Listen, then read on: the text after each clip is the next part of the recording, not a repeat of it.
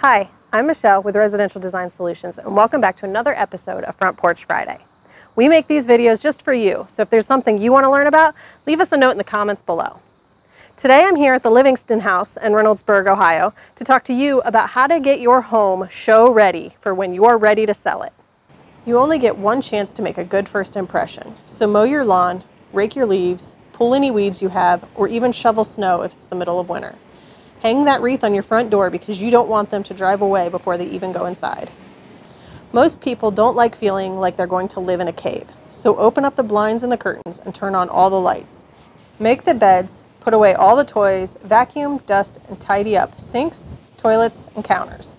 Make the home feel like a welcoming place. Avoid making a stinky dinner beforehand, and if you need to get rid of a smell in the house, run a pot of coffee or even bake a batch of cookies or brownies beforehand.